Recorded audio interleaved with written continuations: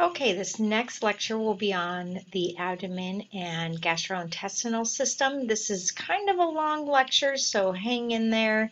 Um, it's just over 100 slides. We'll go through it quickly. All right, you have some outline um, of the GI system, things you need to know, and your objectives.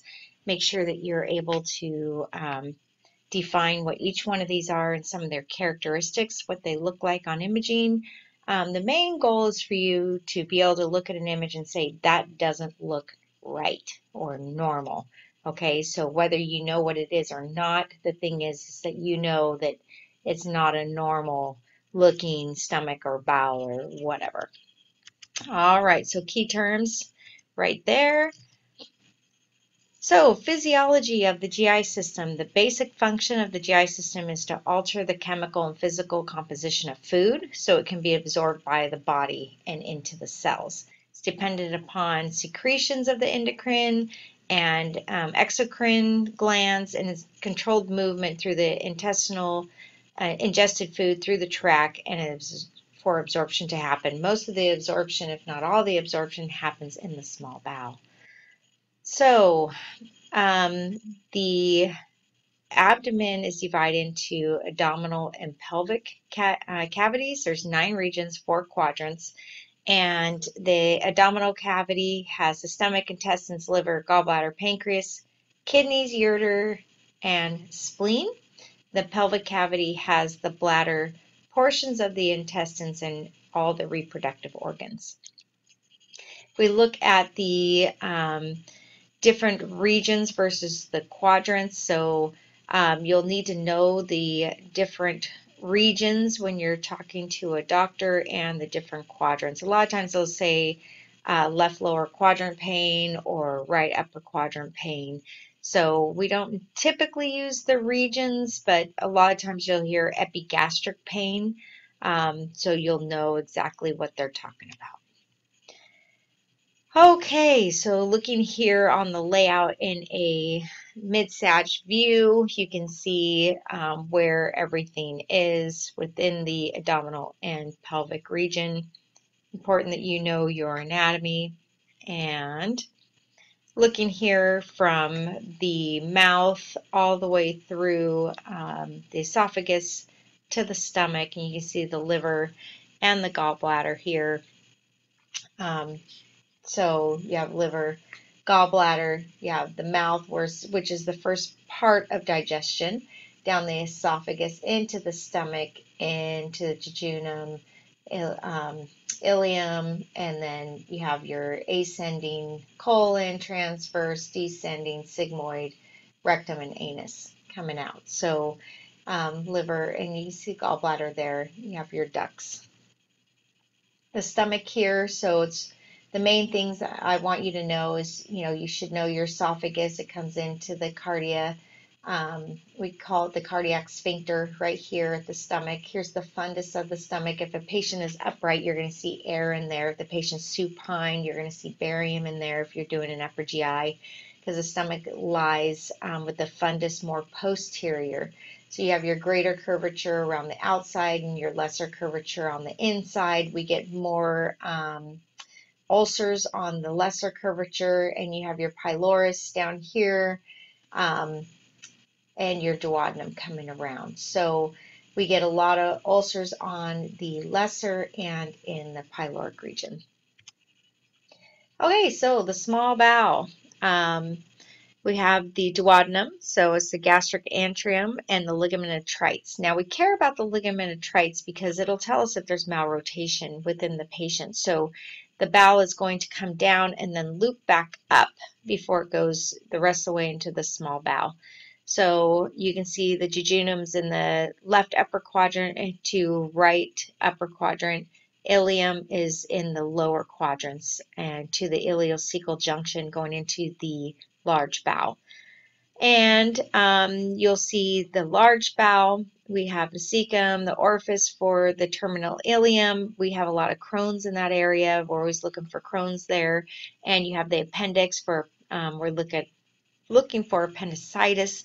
You have the ascending colon with the hepatic flexure, the transverse colon with the splenic flexure. You have your descending colon with your sigmoid rectum and anus. So first part of your small bowel is your duodenum. It's coming off of the pylorus to the duodenum to the jejunum to the ileum. And just more pictures for you, and you can see the anatomical structures here in display, and you can see down here on a barium enema, you can see the terminal ileum right there where the small bowel comes into the large bowel. All right, so you have your retroperitoneal, uh, intraperitoneal. So the retroperitoneal is your cecum, ascending colon, descending colon. Your intraperitoneal is your hepatic flexure, transverse colon, splenic flexure, and um, peritoneal is your sigmoid, and extraperitoneal is your rectum. All right, so when we're looking at imaging considerations uh, of the abdomen, we usually go to a KUB. KUB stands for kidneys, ureter, bladder. Um, we look for placements of tubes and catheters. We're looking for obstructions or perforations. We want to look at the anatomy. Um, now, everything is kind of the same shade of gray, so we have to play with our contrasts, our KVP and our mAs to get a really good image so we can see the differentiations between the shades of gray. Um, we look at the gas pattern. Is it um, over on one side? Is it diffuse throughout? You know, we look and see to make sure that that is normal. And we can do it um, upright or in a left lateral decube. So if a patient has an obstruction, we need to see the layering of the fluid versus the air. And it'll have like a complete step off. You'll see a straight line between the fluid and the air. Then you know that there's an obstruction. So if the patient can't stand, you need to roll them into a left lateral decubitus in order to see that layering. You will not see that layering on a supine KUB. Okay, so this is a KUB, and as you can see, we have just normal diffuse gas patterns throughout. You can see the large colon, which usually has air within it, and fecal matter, um, totally normal. All right, radiology of the GI system. What we do is we do endoscopes, CT, colonoscopy. We do a combination of fluoroscopy and radiography, and we can give contrast agents so that we can see the bowel better.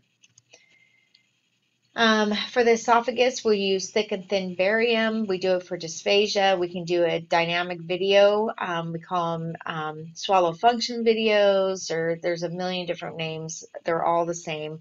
So a dynamic video fluoro. So we look at achalasia, we look at uh, spasms, we look for aspiration um, for patient protection, especially after a stroke, very common. So as you can see here, the patient has barium in their mouth and we tell them to swallow and we look at their swallow mechanisms and make sure that it's going down only through the esophagus. As you can see here, we have trace penetration going into the trachea. This is your trachea. You can see your cricoid rings here. So you can see a little flash penetration of um, barium going into the trachea. So um, we usually will tell the patient to cough to get make sure we get all of that out of there. Um, there are times where they'll take a drink and you'll see the outline of the full trachea. So this study is really good for looking for aspiration. Okay, so the stomach, we evaluate the contour, um, positions, rugae, and uh, paralytic changes. So we will administer glucagon and um, we'll also put gas-producing substances. So glucagon helps relax the bowel so it's not spasming so we can see it better. Um, we'll use compression, so there's a leaded glove or we have a paddle to move the bowel around so that we can see if there's any adhesions for structures um, uh, that would cause blockages. So um, some of the views that we do is PA, RAO, LPO, um, and right lateral. Those are the best way to see the stomach. So um, pretty standard. Um, we usually start with LPO, then we'll go AP, RAO, or RPO, then we'll go right lateral, but you can also do it PA, RAO, LPO. So different ways to do it to get the same view. So here we have the fundus of the stomach. It has barium within it. And we have the lesser curvature here, the greater curvature coming around. here's our pylorus going into our small bowel, duodenum. So the small bowel, um, what we do for small bowel studies, we take KUBs over a specific period of time. Typically, it takes two to three hours for it to reach the ileocecal valve. Once it hits the ileocecal valve, we're done. Um, but there are times if there's a blockage that it will take days. So these studies can go on forever. Um, we also do enteroclysis where we'll drop an NG tube down into the stomach and really far down into the duodenum and we'll inject contrast so that we can see the small bowel. So if a patient can't tolerate drinking it, we'll just drop an NG tube down into the duodenum and we inject the contrast. We also can do uh, MRI and CT um, studies. So here's small bowel. So you can see the lesser curvature of the stomach, greater curvature of the stomach. We have our pylorus and going into our duodenum. Here's your ligament Treitz. And then you can see here we have the jejunum going into the ileum. And you can notice that there's a difference in the pattern of the small bowel. That's how you know if you're in jejunum versus ileum. And then coming down and around, and we're going into our terminal ileum, into our large colon. So that means we are finished. Yippee. All right, large bowel. We usually do a barium enema. Um, we can do single or double contrast. When we talk about double contrast, we're talking about putting air and barium within the colon. We do spot radiographs. Um, during the study and afterwards. We're looking for inflammatory bowel disease, surgical uh, changes, colostomy, ileostomies, um, different ways of doing it. So here, this would be an air contrast BE. You can see the markers on for the right side. So we have um, ascending colon, transverse colon, descending colon. And you can see the tip in the rectum. So CT, so visualizes small density differences. It's really, really good for seeing the differences in the anatomy. Used to image inflammatory conditions, uh, neoplastic lesions, or treatment planning for radiation therapy. Um, patients should do a bowel prep prior to doing the study. There's virtual colonoscopy and CT colonography. So it's 2D and 3D. So what we do um, is we put a tip in the rectum, we fill them full of air, we scan them, and then we flip them over and we scan them again. So um, lots of fun, lots of fun. So um, yeah, I've done my share of those. And here is a post-processed into the coronal plane CT. You can see our liver here, stomach, spleen, this is small bowel. This right here is large bowel. So that's typical for large bowel. And the characteristics, we have the haustra. Um, so they're the little wavy pieces in the bowel, where small bowel doesn't have that. It looks more fluffy. Down here is the bladder. So this is your psoas muscles coming up and your ilio, um, ili iliac arteries. Sorry. All right. So MRI. Looking at MRI, it's limited to bowel. Um, as the scans get faster, we're able to see the bowel better. So um, we'll do breath holds on bowel quite a bit. Um, I've scanned a lot of um, bowels for mesenteric arteries for occlusion and for ischemic bowel, um, different reasons prior or prior pre-surgical, um, if they're going to be resecting the bowel, we will do studies of the bowel and MRI. So um, it's great for pediatric and pregnant patients. So if I have a pregnant patient, um, they get all the time hydronephrosis.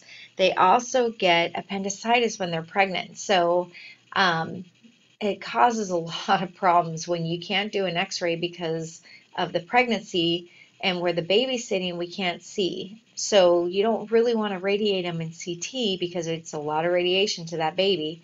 So we'll do an MRI and we'll limit it. We'll just do real quick sequences um, and take a look and see if they have appendicitis or if there's a kidney stone or if the baby's just laying on the ureter causing hydronephrosis. So um, a lot of times we will not give contrast. When we do give contrast, we just give a little bit and we take a look to see what's going on. Um, really cool to do those uh, in MRI because you get to see the baby and it's so cute. All right. So anyway, um, we do T1 weighted, T2, um, 3D. Um, we'll do MRAs. I don't run those on pregnant patients, but we do run MRAs of the abdomen, looking at the mesenteric arteries and making sure that they're intact and we'll do MR enterography. So that's the MRE. So that's where we give them a bunch of contrast to drink over 30 minutes, 30 minutes, 30 minutes, and have drink bottle, bottle, bottle, bottle. And it's a negative contrast. And then we inject contrast and we scan them. And it's a beautiful study. It's beautiful.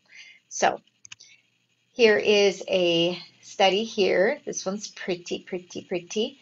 So if we look, we have the liver here, and it looks like kind of a fatty liver, so it's pretty dark. It's not normal for it to be quite that dark, but um, who am I to judge? Um, we have the stomach. You can see the transverse colon. Here is our ascending. This is our cecum. Um, it's pretty enlarged. It's interesting. Here's our small bowel, and here's our descending um, going into the sigmoid. So really good study. Really nice. They did a nice job. All right, sonography. Occasionally useful in GI, used to image retroperitoneal st structures and is used for appendicitis. We'll also use it for pyloric stenosis on babies. So um, ultrasound is the first line of defense on a kid. Um, usually they after a few weeks of life, they get stenosis of their pylorus and they get this projectile vomiting that shoots across the room. It's like, oh, my baby throws up a lot. It's like, okay, does it shoot across the room like the exorcist or is it just vomiting, not projectile? And they say, oh, no, it shoots across the room. Then you're like, oh, yeah, then you've got pylorus stenosis. So ultrasound is the first line of defense for that. Then if it's suspicious, but they're not 100%, they'll come in and we'll do x-ray on them and see, do an upper GI and see if it is pyloric stenosis. And if it is, let me tell you, be warned because you're going to give them the barium. That barium is going to shoot about three feet out of that baby. It is impressive. All right, nuclear medicine is really good for GI bleeds. Um, gastric emptying studies. So if a patient has food that's retained in the stomach longer than it should be, that is great study. So the gastric emptying um, urea breath test. So we'll do that to check for any kind of ulcers. Um, Meckel scan, so really good for finding Meckels. Anyway, we'll go into that. And then for GI cancers, we'll do the um, the PET. And this is a typical scan here for GI tumor. We're just kind of looking all over. So this right here on both sides, that's kidneys, and this is the bladder. So the kidneys and the bladder are processing out all of the radioisotopes. So that's that's normal. We look for that. And when I first started in radiology, I'm like, oh my gosh, that's positive. They're like, positive that they have kidneys and a bladder. Yes, you're right. Oh, oh okay. so anyway. Um, looking here, endoscopic procedures. So we'll actually stick a scope down um, upper and lower. So looking at different um, ulcers of the esophagus, of the stomach, of the duodenum. Um, they usually don't go past the duodenum and then they'll go rectally and um, with your colonoscopy. So um, the good thing is they can do any kind of biopsy during that time. And this is what it looks like. Um, we'll do MRCP, MRCPs, ERCPs, um, and where they'll go in through the sphincter of Oddi and go in and um, look at the ducts going to the liver, or actually the common bile duct, so it's draining from the liver down. But um, we'll also do it in the colon, and they can do biopsies through that. So MRCP, we can do these without the scope, which is really nice. All right, so tubes and catheters. So we have gastric tubes. Um, we use those for um, aspiration of gastric contents if they um, for decompression. So if there's a blockage, we can suck out all the gastric juices so that the patient stops vomiting, hopefully. And we can also use it to give patients uh, food and medication. So the Levin uh, tube is the most common NG tube. It's small, single lumen um, and it has a plain tip, can be visualized on radiographs, and the proper alignment is into the stomach. Uh, Enteral tube, so small caliber tube, uh, delivers liquid diet directly into the duodenum or jejunum. It has a weighted end to ensure hold, it stays in place. We have a Dobhoff, which is common enteral tube that is radio opaque. Excuse me, so this is our Dobhoff, and it usually has a tip on it that we can see. So it's coming in and we are in the duodenum going into the jejunum. So we're at the ligament of Treitz right there. So that's the proper placement. So here is the tube. Um, you'll see it sticking out of patients' noses, very common. Nasal, uh, nasal intrix, intric de, uh, decompression tube. So inserted into the intestinal tract um, it has one end has a balloon on it, it has a rubber bag filled with air, mercury, or water, and it stimulates um, peristalsis to facilitate passages through the pylorus into the intestinal tract. There's the Miller Abbott, which is a double lumen decompression tube. It passes through the nose, pharynx, esophagus, inflate a balloon, and pull back and at the cardiac sphincter. So you can see the Miller Abbott. It has a balloon and it's going to sit right in here. So you can see the fundus, the body, the pylorus. Here's your lesser curvature, greater curvature. Okay, so your cardiac sphincter. So it's going to sit right in here. And here are all of your different tubes. Picture for you to see. Okay, so let's jump into our different types of pathology. So the first one is congenital and hereditary anomalies. So we have esophageal atresia. So the esophagus fails to develop certain past a certain point. So the symptoms include excessive salivation, so they're like drooling a bunch, um, choking, gagging, dyspnea, and they turn blue when they are drinking.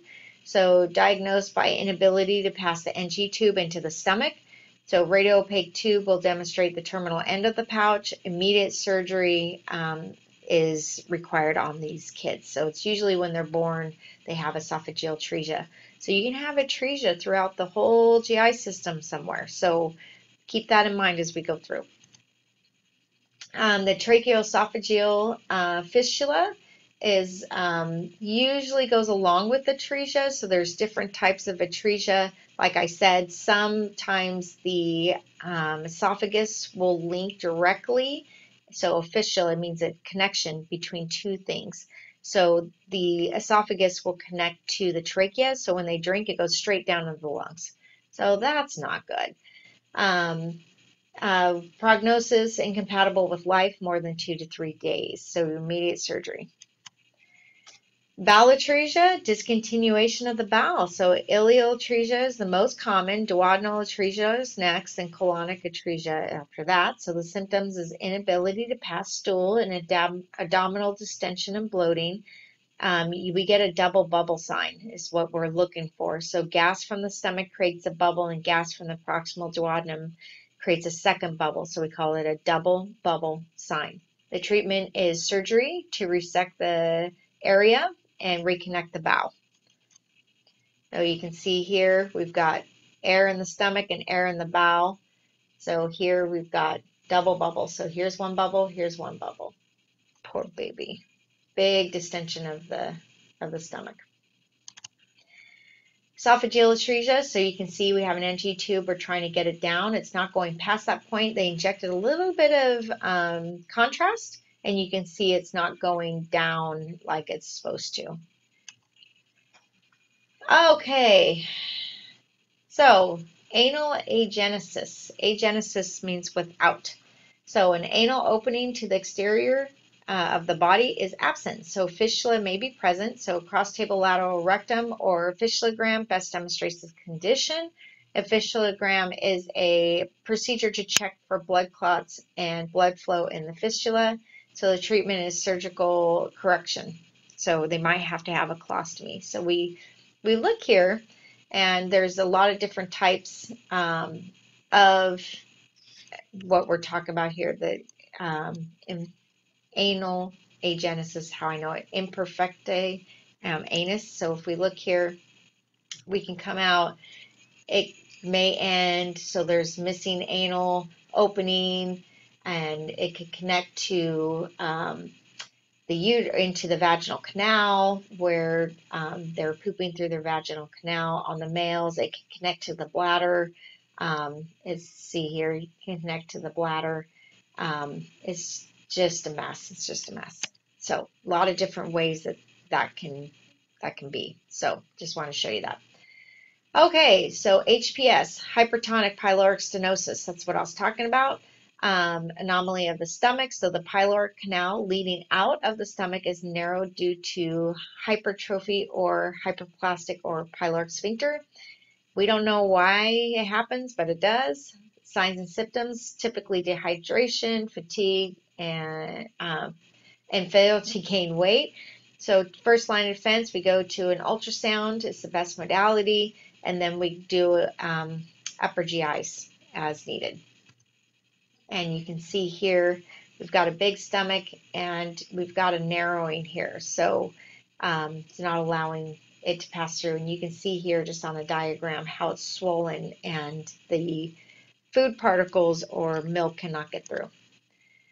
Okay, malrotation. Intestines are not in the normal position. There's varying degrees. There's complete transposition of the bowel. Really important to use your markers um, if you're doing um, x-ray or if you're an MRI that you put the patient in the correct way so that you are 100% sure that this is malrotation.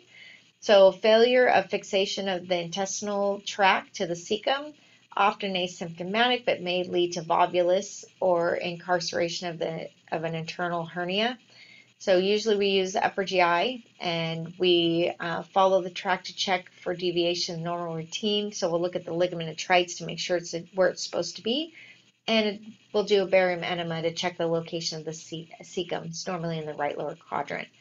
Situs uh, inversus, which is complete reversal of all abdominal organs, and the treatment is surgical resection of involved bowel to relieve intestinal infarction. So the bowel will start to twist upon itself and cut off blood supply.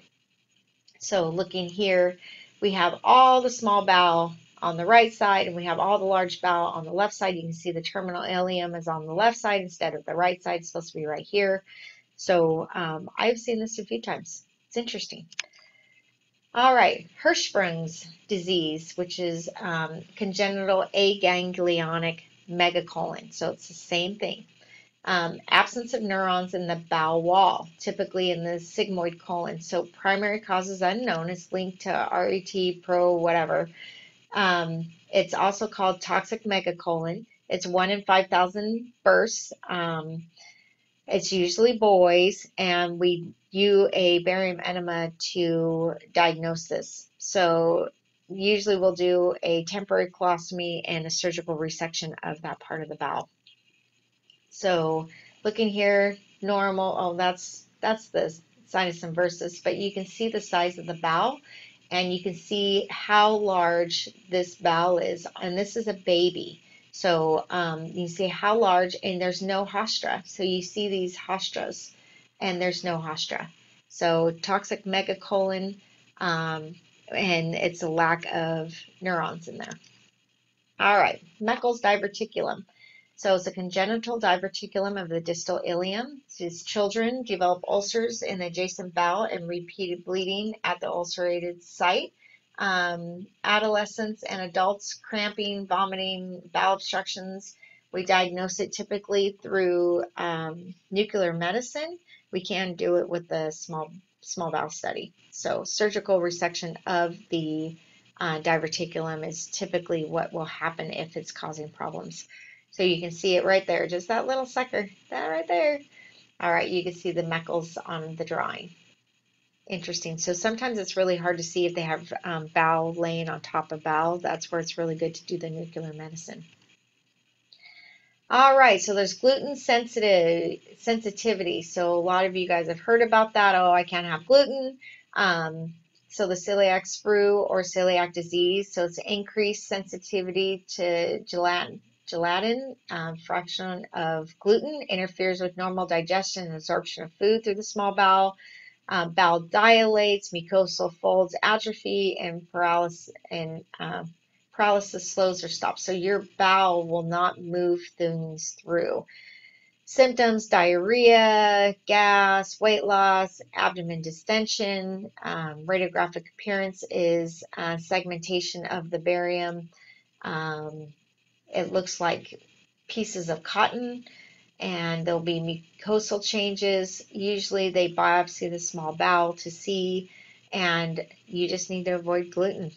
So, this is what it looks like. So, the bowel, this is small bowel, so it gets really dilated and feathery looking. So they call it cotton, cotton ball appearance. So you'll see that. Not this is typical gluten sensitivity. All right, carbohydrate intolerance, inability to digest certain carbohydrates, including lactose. Can't produce uh, lactase to break down the lactose into simple sugars to be absorbed. So the symptoms of diarrhea and cramping, there's no cure. You just avoid dairy products. So looking here, this is a normal small bowel, right all in through here, and you can see how fluffy this is. So the small bowel is definitely irritated and swollen. So this is lactose intolerant. Esophageal, so now we're in uh, clearly inflammatory diseases. So we have um, esophageal structures. We have a narrowing of the esophagus. Um, and occurs in varying degrees, can be secondary to ingestion of uh, causative agents, and diagnosed with endoscope. Endoscope, uh, radiograph appearance, unchanged appearance compared to normal paralysis. We've got benign structure, stricture or smooth contour, and malignant is it's um, irregular borders, so ragged contour. All right, so you can see here smooth, smooth, and look how narrow that is. Yikes. So, yeah. What we'll do is we'll um, stick during an endoscope, they'll go ahead and put a catheter through and they'll blow up a balloon to dilate the um, cardiac sphincter or wherever the stricture is within the esophagus. All right, so GERD, gastroesophageal reflux disease. Um, uh, it's incomplete cardiac sphincter, so it's not closing all the way, resulting in backwards flow of contents into the esophagus. So, um, causes is reflux esophagitis, and you get heartburn, chest pain, uh, dysphagia. So, um, it's hard to eat. It, it burns, it scrapes, it's swollen. Um, there's from the acid reflux. And the diagnosis is esophageal manometry. So um, esoph- we do a scope, we do a barium swallow, and we monitor your pH to make sure that you don't get Barrett's esophagus, which is actually from uh, reflux. And it burns the, the layer of the distal esophagus again and again and again to where you get changes in your cells where you can get cancer of your distal esophagus. So we do care about reflux and we want to make sure that we um, treat that so that you don't get um, esophageal cancer called Barrett's esophagus. All right, it's increased by chocolate and smoking. All right, so we'll stick a monitor down and we'll measure the pH levels in the distal esophagus on some patients who have really bad reflux. All right, Peptic ulcer, an erosion of the mucous membrane in the lower end of the esophagus, stomach, or duodenum, most commonly located in the duodenal bulb or lesser curvature. Um, NSAIDs is usually um, what causes it. So it's pain in the epigastric radiating to all parts of the abdomen. So we usually see it on a scope or a double contrast upper GI. All right and you can see this ulcer right there. So you see the ring around it, the lighter gray, and you can see the target sign. So we call this a target sign. All right, gastroenteritis, general uh, grouping of a number of inflammatory dis uh, disorders of the stomach and esophagus. There's erosive gastritis. The causes is ingestion of NSAIDs, um, physical stress, viral or fungal infections, ingestion of foods contaminated with salmonella or um, bacteria. Gastroenteritis, uh, we have burning and a heaviness in the stomach, nausea, diarrhea. We use an upper GI double contrast typically to see it. The radiographic appearance is slit-like um, collections of barium surrounded by radiolucent halos of swollen, elevated mucus. Uh, so the treatment is proper fluid management or relief in nausea and vomiting. So this is gastritis. You can see how thick these folds are. So these folds are really, really deep. That's the rugae, and it's really, really deep. So that is gastritis. You can see here the inflammation. Malabsorption syndrome. So a number of disorders in which the absorption of certain nutrients is negatively affected. So symptoms, uh, fats, light colored stools, um, protein, hair loss, sugar bloating. So the celiac disease is best known, which is your gluten, and we diagnose it through lab tests, barium, biopsies. There's the lactose insufficiency, and it's unable to digest dairy. So looking at regional enteritis or Crohn's, um, we're looking at a chronic granulomatosis inflammation disease involving any part of the GI. So the important thing is that you can have it anywhere. Um, typically, it attacks at the distal portion of the ileum at the ileocecal valve. So um, the CDC states 201 cases in 100,000 people, and it's increasing every year, though. It's unregulated GI immune response to food and environmental factors, thickening of the bowel, uh, small ulcers, and can give you fistulas and um, it gives a cobblestone and a string sign for a radiographic appearance. So cobblestone string sign, regional enteritis, which is Crohn's disease. So drug therapy um, we use to reduce the inflammation, and we will do bowel resections um, based on necrotic bowel. All right, so you can see the appendix here and um, normal and then you can see here, this is the string sign. You can see how narrowed it is coming in um, to the large bowel. It's just really, really narrowed, and it's narrowed due to the inflammation. So a um, lot of pain with this, a lot of pain. And we're looking at um, MR enterography, and this is kind of cool. We've got a spot right there. So you can see how pretty. We can see the bowel lumen really, really well with the contrast. And here it is right here. All right, appendicitis, inflammation of the appendix causes uh, usually a fecalith, which is a little stone or neoplasm. Most common abdominal surgical emergency in the United States. Um, initially pain in epigastrium that moves and persists in the right lower quadrant. It's really good to diagnose with CT and ultrasound, and you need to take the appendix out. So this is a really sick appendix and you can see here's your ileum coming into your cecum and your appendix hangs off, just the end right there. So um, appendicitis, there's a fecalith right there. So believe it or not, that's the appendix and that is your uh, lith, which is if you see a lith, that patient has appendicitis. They go hand in hand. And right here, you can see, you can see the pedicellith. And this is a pregnant woman. So you can see the baby. Here's an arm. Here's the legs. Here's the belly. You got the brain right here and the eyeball. so cute. Look at the little smile. So this patient is positive for appendicitis. Oh, man. All right. Ulcerative colitis, um, unknown etiology. Um, we usually diagnose it with a sigmoid, um, well, we'll do a colonoscopy, sigmoidoscopy. Um, we'll also see it on an air contrast barium enema. You have to be careful that you don't perforate the bowel.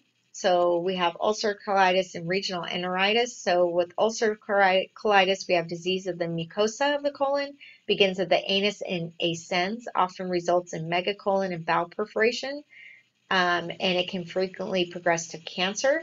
So regional enteritis affects all layers of the bowel wall, whereas um, ulcerative just does the mucus. So regional enteritis, in, enteritis begins at the terminal ileum and the cecum and descends with often um, skipped areas. We call them skip lesions. So um, it's it's spotty throughout, but it goes from the terminal ileum or the cecum towards the anus, whereas ulcerative colitis starts at the anus and goes backwards. Okay. So in regional enteritis, rarely produces megacolon or bowel perforations. All right, esophageal varices. So varicose veins of the esophagus that occur in patients with portal hypertension. A lot of that portal hypertension is from drinking. So um, we usually diagnose it through a um, esophagram or barium swallow, the patient with uh, laying on their back, thin barium. Uh, it looks like worm, a worm defect. So you can see here these, these streak lines. This should be solid white. It should not have these streak lines. So that is um, esophageal varices. So it's swelling of the veins due to the portal hypertension. So we can do a TIPS procedure um, where we bypass um, the the pressure from the going to the liver and what it does is the liver can't process all of that so it backs up and the veins dilate and they dilate around the esophagus. So when you do a tips you're going in and bypassing that so you don't have the dilatation of the veins in the esophagus. So my uncle he was an alcoholic and he actually died of this. So he ruptured three or four times in the icu getting a ton of blood and then finally he ruptured and they couldn't stop the bleeding and he died. So it is serious. Um, you'll see it a lot with patients that are alcoholics, um, drinkers with liver failure. And you can see the worm-like indentations, and that is backup of blood. All right. Degenerative disease. So there's herniation, the protrusion um, of a part of an organ through a small opening um, in the wall or cavity. There's inguinal, femoral, umbilical. So it's just a weakness in the muscle wall. So the complications of it is that it can become incarcerated and strangulated, which means that it is trapped and it's twisting upon itself and it's losing blood supply. Therefore, one, you'll have a small bowel obstruction or obstruction based on wherever it's at. And two, it's a surgical emergency emergency because you're getting gangrene. So that's not good. All right. Um, so a hernia is a protrusion of the stomach into the thoracic cavity, the hiatal hernia, the cavity through the esophageal um, hiatus. There's direct or sliding, and you'll see a Schatzki's ring every time. So you'll get a little ring right up here showing that um, you have a sliding hiatal hernia. There's rolling or paraesophageal. So this is paraesophageal. So you can see here's the diaphragm, and you're seeing stomach up here in the lung field. So there should not be any stomach above the diaphragm. It should be below the diaphragm. So that's paraesophageal. Kind of cool. All right, bowel obstructions. So uh, bowel obstructions um, are a blockage somewhere in the system. There's the mechanical. It can be a gallstone ileus, a volvulus, or an intussusception. It can be paralytic, so um, abdomen distension, cramping, vomiting. Um, you'll see air fluid levels on a radiograph, and the visible gas pattern will be different on the intestines. So nasogastric suction and medical stimulation, trying to get that going. Excuse me. So in a intussusception. So gallstone ileus is where there's a big gallstone and it blocks um, the passage of food and digestive juices. So here, excuse me, the small intestines, this is called intussusception, where the bowel telescopes inside of itself, inside of itself. So that is intussusception. Volvulus is where the bowel twists upon itself. So it spins around and around and around, and it looks like a cinnamon roll to me. And when it twists upon itself, it's cutting off the blood supply. So painful. So you can see here, we've got twisting, we've got, ooh, ooh, this looks like an apple core lesion. So here's a lesion within the large bowel. Ooh, look at all this. So you see all these? This is not good, not good. So all of that is um, in the liver. So this person has what looks like an apple core lesion, which is a colon cancer, and it is throughout. Say it. All right, gallstone ileus.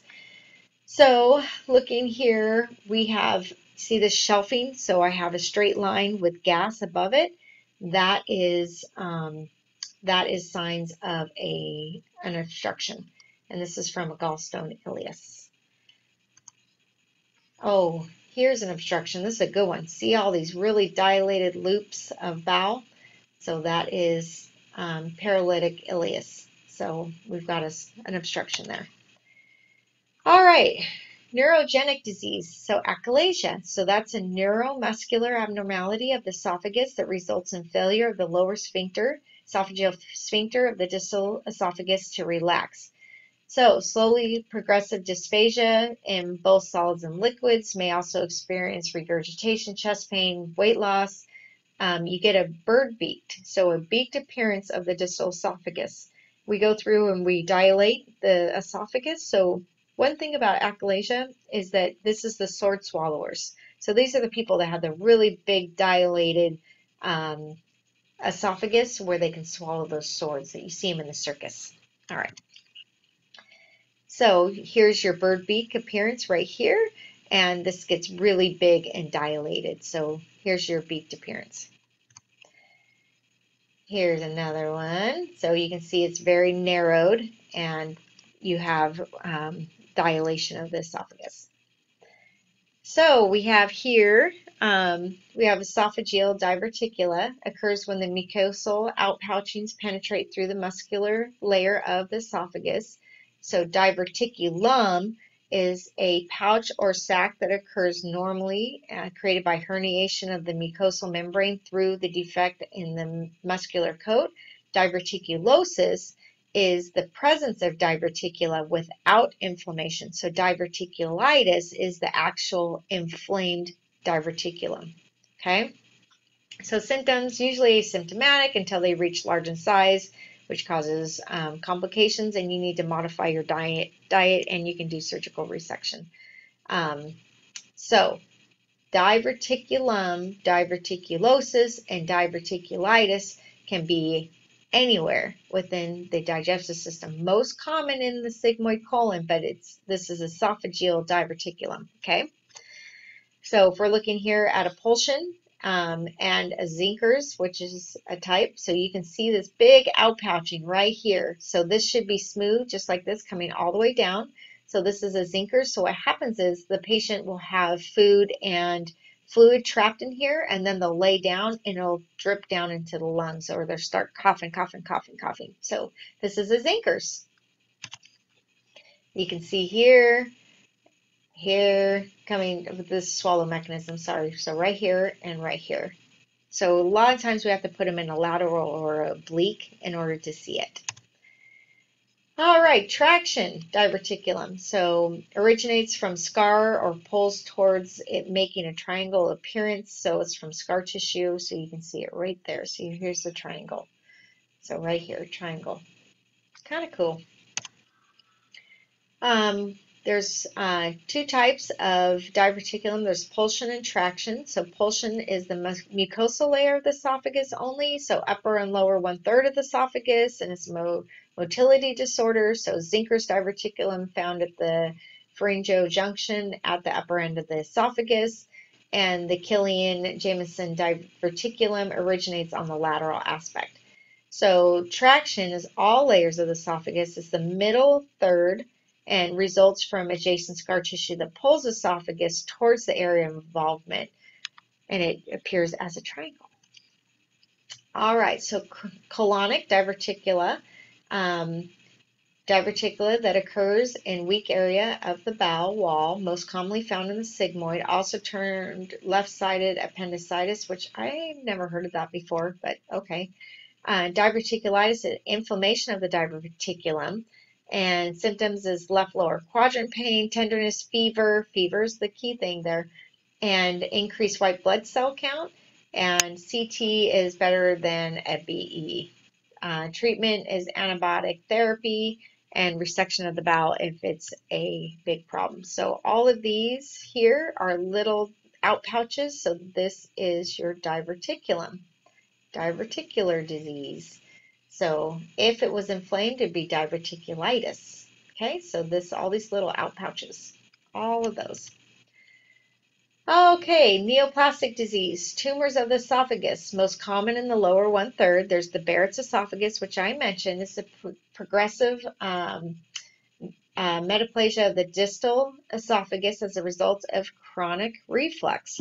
So, leiomyomas are a smooth muscle tumors. They're usually benign. They're diagnosed with CT, and the treatment is surgical resection if they're causing problems. There's adenocarcinomas, which is malignant. So um, adenocarcinomas are bad and they have bad, poor diagnosis or prognosis. So um, usually we find we have to biopsy it. We'll use CT and um, endoscopes, sonography to see them.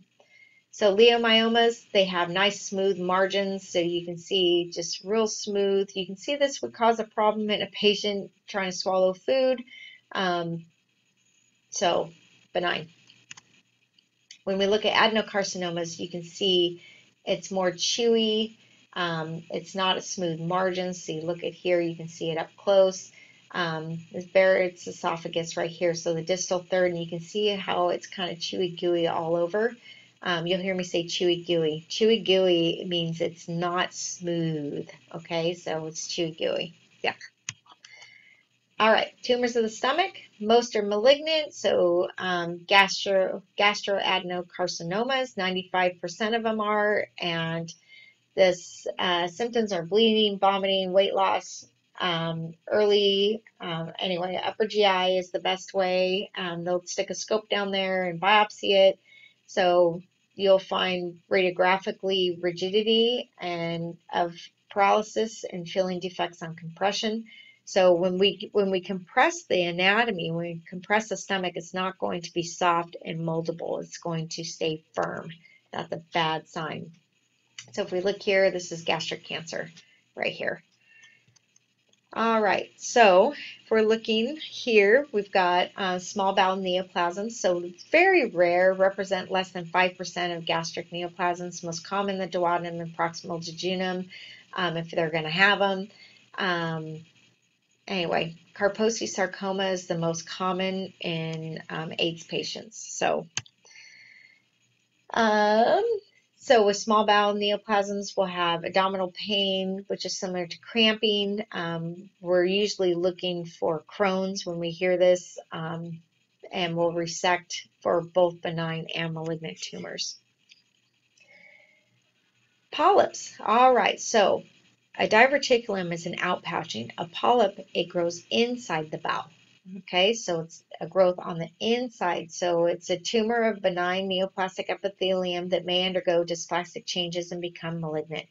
So um, there's sessile, which is attached to the bowel wall with a wide base, and pedunculated, which is attached with a narrow stalk. So we take a look and see, um, we usually biopsy all um, polyps. So looking here, you can see this is going on the inside of the bowel, and you can see inside of the bowel. Inside of the bowel, inside of the bowel. It's not good. There's a little one right there and one right there. All right, adenocarcinoma is most common types of colorectal cancer, and you'll find um, blood in the stool, and it's not usually red blood, it's usually a dark, deep red blood, and it's found in the stool. It's not active bleeding. So we'll talk about soft, or varices of the anus, and um, we call them hemorrhoids. The, that will give you bright red blood. This is dark red blood, so this is GI bleed. Okay, so um, here we're looking at napkin ring or apple core lesions. So polyps here, um, let's see, a tumor of benign neoplastic uh, epithelium may undergo, sorry, I went the wrong way. Um, we have here, this is a colon cancer, okay, right here. It's called an apple core lesion. And the reason why it's called apple core is because it looks like you ate the apple, so you have the top and you have the bottom, and here's the middle. So it's third most common uh, tumor of the GI system, and it is the third most common cause of cancer mortality. By the time we find this, it's metastasized. All right, your pathology summary. This has all of the basic information on the different pathologies. So we did good. There's a lot to know about all of your pathologies of the GI system. There's a lot of them. The main thing is that I just want you to be able to tell, is it normal or is it abnormal? Something doesn't look right. You can always look up these pathologies. All right, good job.